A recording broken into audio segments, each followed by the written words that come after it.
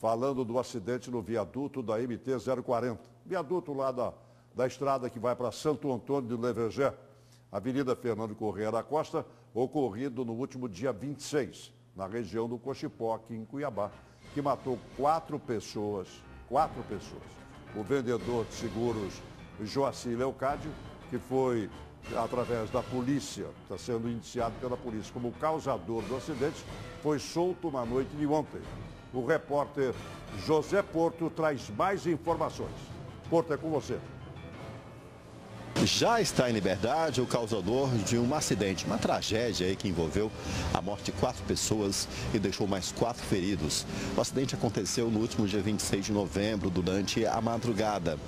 E estava preso aqui no CRC, o Centro de Ressocialização de Cuiabá, o presídio Carumbé, é, o vendedor de seguros que estava conduzindo um veículo Gol Preto e acabou entrando na contramão no viaduto ali sobre a MT-040 com a Fernando Correia, que liga Santo Antônio do Evangelho e também ao Distrito Industrial.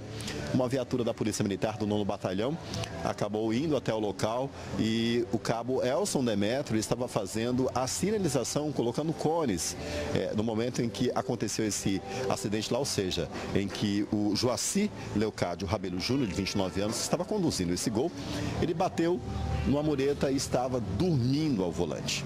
Quando o cabo colocava a sinalização, veio um outro veículo, supostamente em alta velocidade, um Corolla, e acabou é, atingindo não só a viatura da Polícia Militar, o cabo foi arremessado, é, o parceiro dele da viatura também foi atingido, mas é, duas pessoas que estavam na motocicleta também foram arremessadas na pista e o veículo atingiu ainda um Fiat Punto com mais dois ocupantes.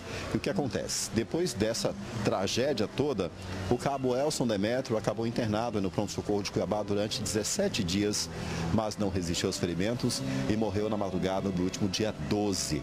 Mas três pessoas morreram nesse acidente.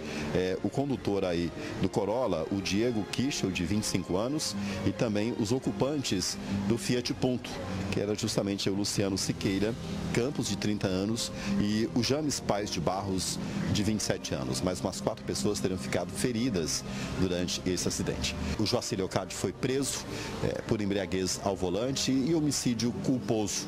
A Justiça Criminal já havia negado por duas vezes aí o pedido de relaxamento da prisão do vendedor de seguros aí do Joacir, mas ele acabou com os advogados conseguindo esse relaxamento da prisão aí. Ele foi liberado no início da noite dessa quinta-feira, saiu aqui pelos portões do presídio do Carumbé.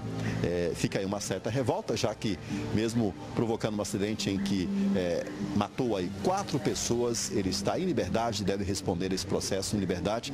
Fica a frustração e o questionamento quanto à legislação do nosso trânsito no Brasil, onde dificilmente um acusado consegue responder aí pelo homicídio doloso.